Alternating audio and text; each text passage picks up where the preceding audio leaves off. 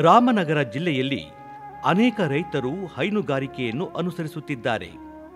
ಮೇವಿಗಾಗಿ ಸ್ಥಳೀಯ ಮೇವಿನ ಬೆಳೆಗಳನ್ನು ಬೆಳೆಯುತ್ತಿದ್ದ ಇಲ್ಲಿನ ರೈತರು ಹೆಚ್ಚು ಹಾಲು ಉತ್ಪಾದನೆ ಮಾಡಲು ಸಾಧ್ಯವಾಗುತ್ತಿರಲಿಲ್ಲ.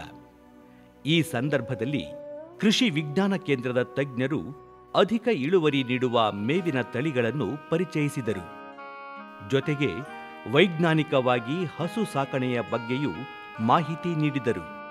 ಇದರಿಂದಾಗಿ ರೈತರು ಹೆಚ್ಚು ಲಾಭ ಪಡೆಯಲು ಸಾಧ್ಯವಾಗಿದೆ. ಹೀಗೆ ಪ್ರಯೋಜನ ಪಡೆದ ರಾಮನಗರ ಜಿಲ್ಲೆಯ ಶಾನುಭೋಗನಹಳ್ಳಿಯ ರೈತ ದೇವರಾಜ್ ಅವರ ಯಶೋಗಾಥೆ ನೋಡೋಣ.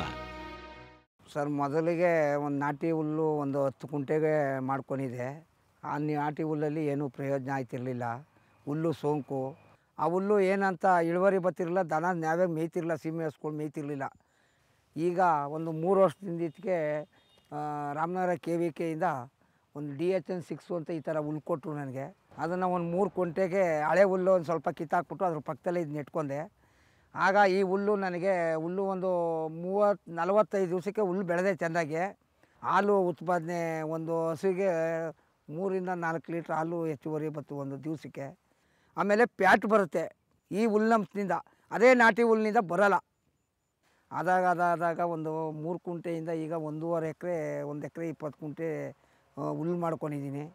ನನ್ನ ಹತ್ರ ರೈತರುಗಳು ಭಾಳಷ್ಟು ಕಡ್ಡಿಗಳನ್ನ ತೊಗೊಂಡೋಯ್ತವ್ರೆ ಒಂದು ರೂಪಾಯಿ ಸ್ಟಾರ್ಟಿಂಗ್ ಮಾಡಿದೆ, ಐದು ರೂಪಾಯಿನಂಗೆ ಕಡ್ಡಿಯ ಮಾರ್ತಾಯಿದ್ದೀನಿ ಕಟಿಂಗ್ ಈಗ ಈಗ, ಈ ಥರ ಕಡ್ಡಿನ. ಆ ಇದರಿಂದ ಈ ಹುಲ್ಲಿಗೆ ಒಳ್ಳೆ ಬೇಡಿಕೆ ಇದೆ ಸರ್. ಹೊರಗಡೆ ಮಂಡ್ಯ, ಮೈಸೂರು, ಕನಕಪುರ, ಚಿಂತಾಮಣಿ, ಹಾಸನ, ಇವೆ ಕಡೆ ಎಲ್ಲ ಹುಲ್ಲು, ಭಾರಿ ಹುಲ್ಲು ಬೇಡಿಕೆಗೆ ಕೊಟ್ಟಿದ್ದೀನಿ ಸರ್ ಇದು ಯಾವ ಡಿ ಎಚ್ ಎನ್ ಸಿಕ್ಸ್ ಹುಲ್ಲು ಹಾಕಿ ಚೆನ್ನಾಗಿ ಒಳ್ಳೆ ಇಳುವರಿ ಬೆಳೆದು ಹುಲ್ಲು ಬೆಳೆದೆ, ಆಗ ಹುಲ್ಲು ಹಾಲು ಹೆಚ್ಚುವರಿ ಆಯಿತು, ದನನೂ ಹೆಚ್ಚಿಸ್ಕೊಂಡೆ, ದುಡ್ಡು ಸಂಪಾದನೆಯೂ ಜಾಸ್ತಿ ಆಯಿತು. ಎರಡು ವರ್ಷಗಳಿದ್ದು ಎರಡು ವರ್ಷದಿಂದ ಐದು ಮಾಡಿದೆ, ಐದರಿಂದ ಎಂಟು ಮಾಡಿದೆ, ಎಂಟರಿಂದ ಈಗ ಹತ್ತು ಮಾಡಿದ್ದೀನಿ. ಸರ್, ನಾನು ಮೊದಲಿಗೆ ಕಮ್ಮಿ ಹಾಲು ಹಸ್ಕೊಳ್ಳಿದಾಗ ಇಳುವರಿ ಏನು ಅದು ಖರ್ಚಿಗೆ ಆಗ್ತಿರ್ಲಿಲ್ಲ ದುಡ್ಡು, ಅಮೌಂಟು. ಈಗ ಒಂದು ದಿವಸಕ್ಕೆ ನೂರೈವತ್ತರಿಂದ ನೂರ ಅರವತ್ತು ಲೀಟ್ರ್ ಹಾಲು ಹಾಕ್ತಾಯಿದ್ದೀನಿ ದಿವಸಕ್ಕೆ. ಅದು ಹದಿನೈದು ದಿವಸಕ್ಕೆ ಒಂದು ಅರವತ್ತು ಸಾವಿರ ರೂಪಾಯಿ ಆನ್ಲೈನ್ ಪೇಮೆಂಟ್ ತಗೋತೀನಿ. ಒಂದು ಇಪ್ಪತ್ತೈದರಿಂದ ಮೂವತ್ತು ಸಾವಿರ ಖರ್ಚು ಹೋಗುತ್ತೆ. ಒಂದು ಮೂವತ್ತು ಸಾವಿರ ಉಳೀತದೆ.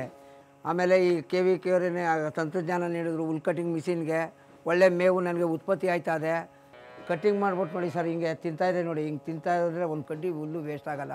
ಎರಡು ಹಸುಗೆ ನಾಟಿ ಹುಲ್ಲು ಹಾಕೊಂಡಿದ್ದು, ಅದು ಕುಯ್ಯಿ ಕಟಾವು ಮಾಡೋಕೆ ಆಯ್ತಿರ್ಲಿಲ್ಲ. ಕುಯ್ಕೊಳ್ಳೋದು ಎಲ್ಲ. ಅದು ಹುಲ್ಲು ಮೃದುವಾಗಿದೆ, ಸಿಹಿಯಾಗಿದೆ. ಚೆನ್ನಾಗಿ ತಿಂತದೆ ಹಸ್ಗಳು ಈ ಹಾಲು ಕರಿಯೋಕ್ಕೆ ಮಿಷಿನ್ ಮಾಡ್ಕೊಳ್ಳಿ ಅಂತ ಹೇಳಿದ್ರು. ಆಗ ಹಾಲು ಕರಿಯೋ ಮಿಷಿನ್ ತಂದೆ ಸರ್, ಈಗ ನಾವು ಕೈಲಿ ಕರಿತಿದ್ದೋ, ಕೈಲಿ ಕರಿಯೋಕೆ ಆಯ್ತಿರಲಿಲ್ಲ ಎರಡು ವರ್ಷ ಇದ್ದಾಗ ಕರ್ಕೋತಿದ್ದೋ, ಈಗ ಹತ್ತು ವರ್ಷ ಕರಿಯೋಕ್ಕಾಗಲ್ಲ, ಶ್ರಮ ಆಯ್ತದೆ ಅಂದ್ಬಿಟ್ಟು ಹಾಲು ಕರಿಯೋ ಮಿಷಿನ್ ಇದೆ. ಸರ್, ನನಗೆ ವರ್ಷಕ್ಕೆ ಎಲ್ಲ ಖರ್ಚು ಕಳೆದು ಒಂದು ನಾಲ್ಕರಿಂದ ಐದು ಲಕ್ಷ ದುಡ್ಡು ಉಳಿತಾಯ ಆಯ್ತದೆ.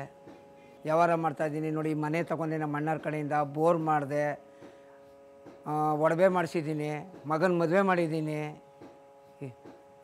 ಎರಡು ಗಾಡಿ ತೊಗೊಂಡಿದ್ದೀನಿ ಹುಲ್ಲೊಡೆಯೋಕ್ಕೆ ಆಟೋ ತೊಗೊಂಡಿದ್ದೀನಿ, ಹಾಲು ಕರಿಯೋ ಮಿಷಿನ್ ತೊಗೊಂಡಿದ್ದೀನಿ ಹುಲ್ ಕಟಿಂಗ್ ಮಿಷಿನ್ ತೊಗೊಂಡಿದ್ದೀನಿ, ದನಿಗೆ ಮ್ಯಾಟ್ ಹಾಕಿದ್ದೀನಿ, ಎಲ್ಲ ಚೆನ್ನಾಗಿ ಅನುಕೂಲ ಮಾಡ್ಕೊಂಡಿದ್ದೀನಿ.